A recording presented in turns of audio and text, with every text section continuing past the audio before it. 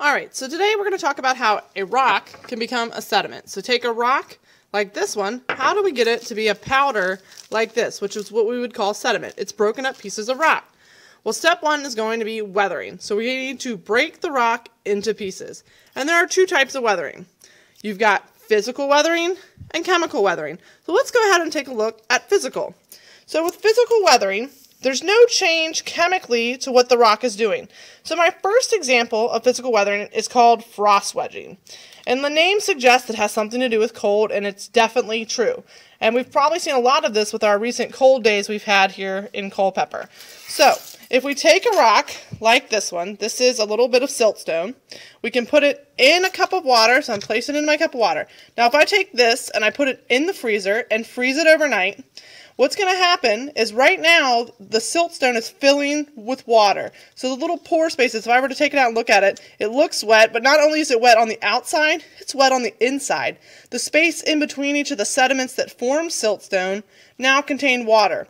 So now when I put it in the freezer, what's going to happen to that water in between the sediments?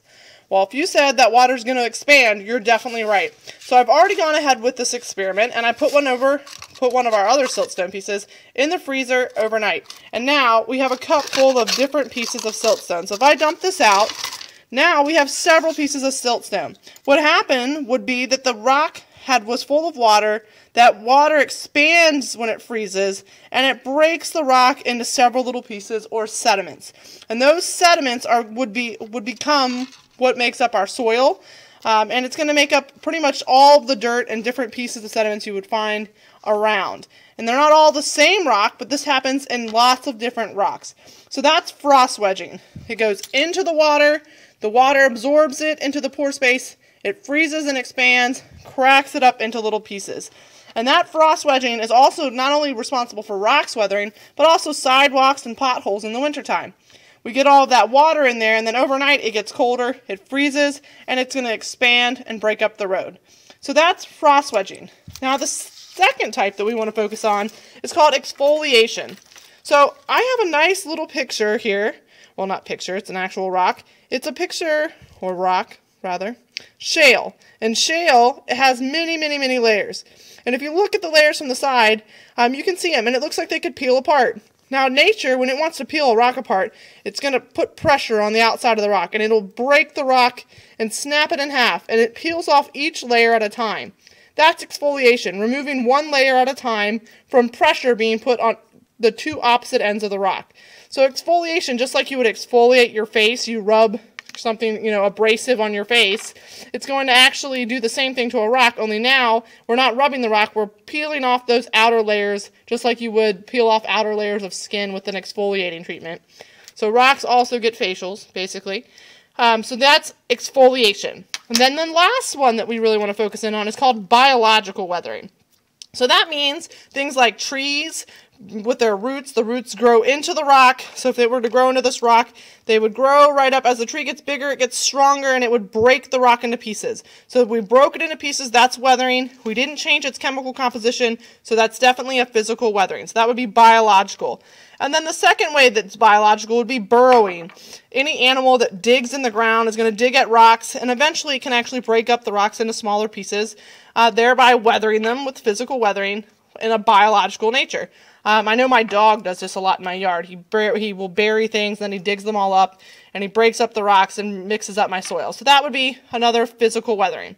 So we did physical. Now we need to go over to chemical weathering. So chemical weathering, how is it different than physical? Well, it's going to actually react with something. So something's going to change chemically in our actual weathering process.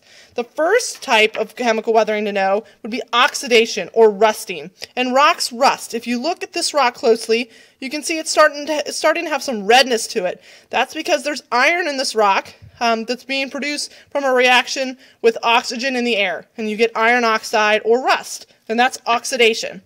The next one is called hydrolysis, and as the hydro at the beginning of the word suggests, hydrolysis is a reaction with water. And then you have dissolving. If you take a rock and it dissolves into the water and actually breaks into its ionic components, meaning it's completely dissolved, that's when you would have a dissolving of a rock.